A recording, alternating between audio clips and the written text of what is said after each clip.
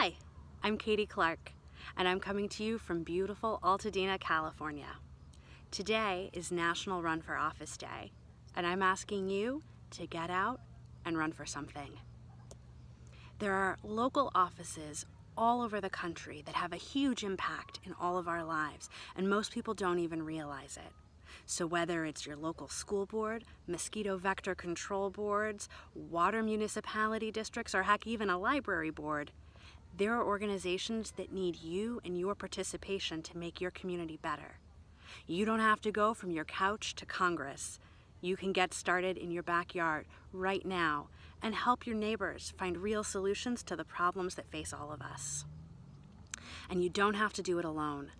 There are resources to help you, people who will make suggestions and mentor you along the way, and a whole community of folks who have your back. So head over to www.runforofficeday.com and sign up. No matter your background, your experience, or your lack thereof, or what your skill sets, you bring a unique voice, and we need you at the table. So we'll see you out there soon.